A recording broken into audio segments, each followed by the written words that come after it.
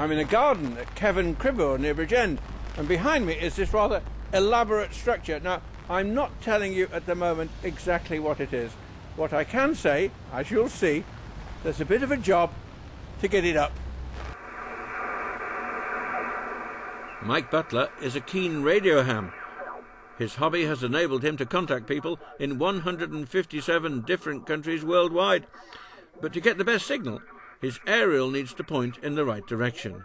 Sadly, an operation hampered by the overhead phone line crossing his garden. In daylight, it's not too much of a problem.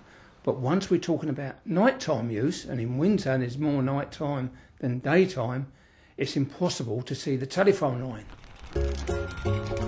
When he put the aerial in the garden, Mike didn't realise the phone line would become such a problem.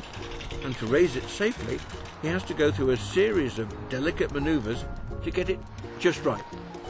And when you're having to run back and forth and tilt it to get it past the, the wire to get it up, how frustrating is that? A lot. It's tiring as well, because you noticed. I'm not, I'm not exactly I'm not exactly a fit man, and that, and uh, it can be a nuisance going backwards and forwards because lowering it, it's got to be exactly the right position. Because if it's not, you can end up bending the element of the aerial, and that's 650 quid for aerial. Mike contacted BT Openreach.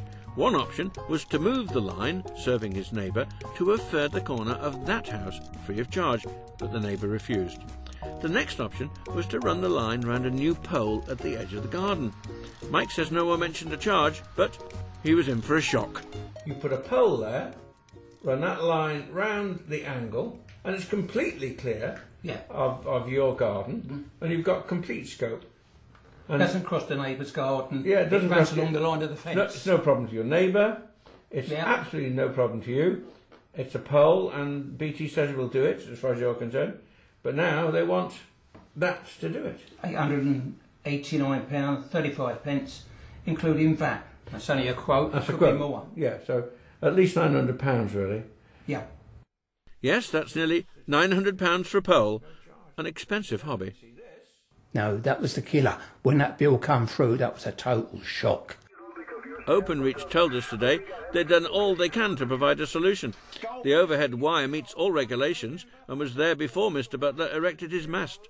The more major engineering work with the pole was always chargeable, but the engineer on site would not have been aware of the cost.